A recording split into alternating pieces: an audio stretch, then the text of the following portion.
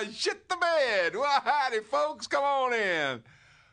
Well, from the looks of them fancy breeches and uh, sassy little hairdos, y'all ain't from around here, are you?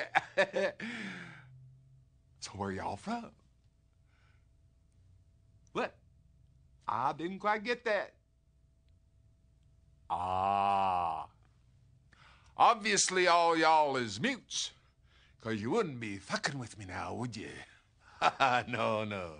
See, the last guy that fucked with me ain't having a real good howdy do today right now. Y'all city slickers think you can come in here and, and just waste my whole goddamn day, don't you? Well, the hell with that. Get the hell on out of here. I got me some chickens to be dealing with. Look, you don't quit doing the asshole shuffle and pick one of these goddamn options, I'm gonna come over there and put my boot up your ass. Well, oh, fine.